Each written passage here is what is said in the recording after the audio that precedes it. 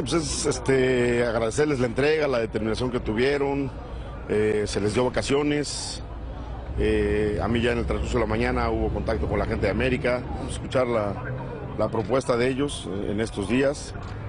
Hoy pues, obviamente no, no hay ningún problema porque Jorge está en lo de la Junta de Dueños y quedamos de que, este, que llegara Jorge para yo poder platicar con él. Ya tengo autorizaciones de ellos para escuchar las, las, las propuestas, entonces vamos a, a, esperar, a esperar esto. Pero bueno, hoy se le dio vacaciones a los muchachos, regresarán el día 12 y en esta semana esperemos tener noticias para ustedes. ¿no?